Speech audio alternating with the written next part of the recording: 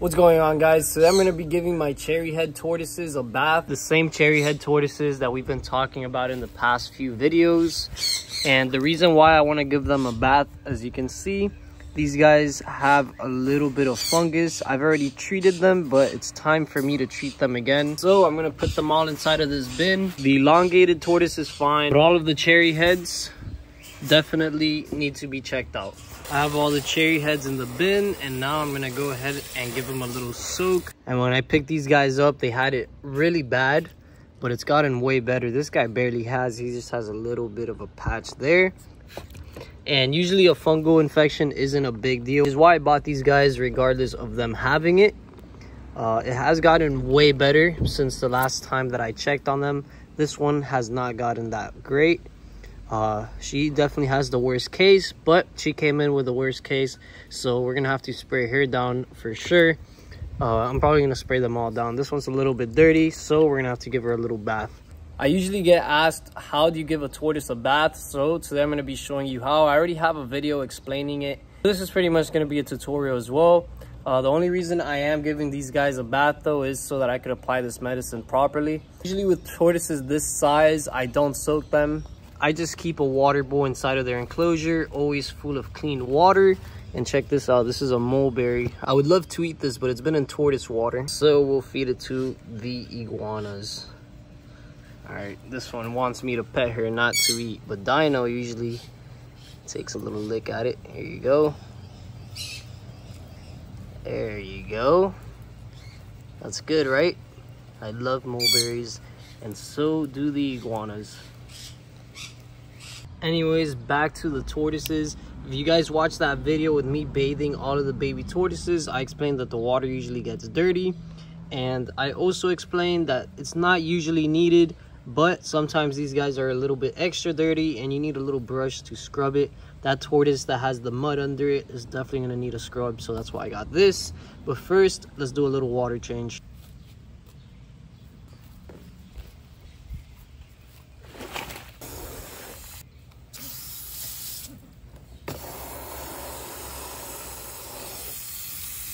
So in order to clean these guys up, this is what I'm going to do when I get them wet. I'm not going to use any soap or anything because it's not really that big a deal. But I'll just scrub off all the dirt and then wash it off. There you go. That's pretty clean right there.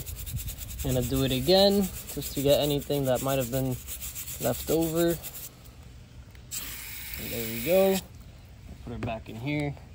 Grab this guy that's trying to walk away. This one's actually the dirtiest one. Uh, and like you guys saw, I did soak them for about like 10 minutes. And that's so that all this loosens up so that I don't have to use any soap.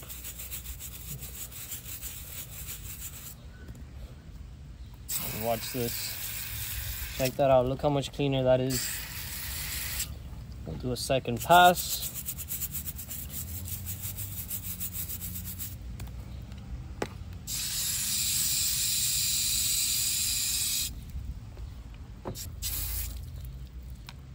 This one's pretty good, honestly.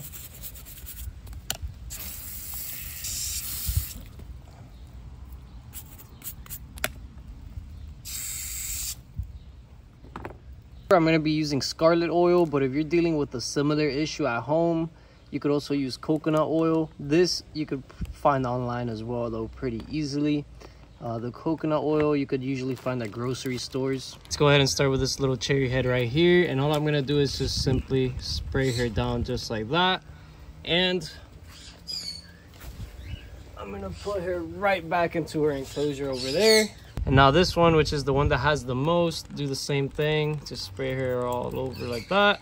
Place her right there. This one comes in second, if not first. Males are lucky. They honestly don't have a lot, but I'll put a little bit just in case. So we'll go ahead and put all over her. Over here. There we go. All the tortoises have been sprayed down. They're gonna stain the floor red for a little bit now, but that's fine. It'll dry up and they'll actually stay red for uh, probably a few weeks because that doesn't come off that easily but it's gonna help them take care of that fungus really good. So there we go. That's how you give a tortoise a bath. If you guys want a more detailed uh, video about how to give tortoises baths, make sure you go ahead and check out my video in the tortoise care playlist. And if you're interested in some uh, cherry head tortoises or redfoot tortoises or any tortoise, make sure you check out shadowsreptiles.com. I do have some available, as well as some other reptiles and reptile supplies that you guys should go check out. It's going to be a link in the description for everything if you guys are interested. I also have some care guides written on my website, so if you're interested in either a redfoot tortoise care guide or a sulcata care guide, go ahead and check it out. In my last video, one of you guys asked me if I still had my ferret and my prairie dogs. So here's a little update on them. The ferrets are doing amazing. I have five ferrets. I'm trying to rehome two of them, but there's the one that came in with Gary. Gary is right there, that little lovely prairie dog right there. You can kind of tell by the bald spot. She's always had that since she came in. But so you can see I ended up getting Gary a bunch of friends. So I have a total of five prairie dogs now. This one's the boy and the rest are all girls. I want to see if I can get a better angle for you guys, but I can't really open this up too much because they'll run out unless I give them food. I already fed them today and as you can see they're pretty chunky so I don't want to overfeed them and keep giving them food just so that I can record them. And I want to build them a big walk-in enclosure as well. I just feel like with a walk-in enclosure it's going to be a lot better for me to interact with the animals so I want to do that in the future. Like what I did for my rhino iguanas which came out great. Now obviously it wouldn't be to this scale because the prairie dogs don't need as much space as these miniature dinosaurs right here. Aren't these guys awesome? They're super friendly with each other and they've been basking next to each other. The other one is right there. They're all chilling. They've been hanging out next to each other so much and they've been getting along. No fighting yet. So that's always a good sign. Of course, when I put the rhino iguanas together, one of my biggest concerns would be that they wouldn't get along. But I would have built this huge enclosure for no reason and wasted all that money. But luckily, these guys are like puppies and they've been getting along great. Not only with each other, but with me as well as the other animals. I had my bunny come in here and they got along. My dog has came in here a few times. They've gotten along. And yeah they've all been doing great. And one thing that i think is super cool is that this rhino here is like beige kind of like more matching the mulch. And then this one here is more blue.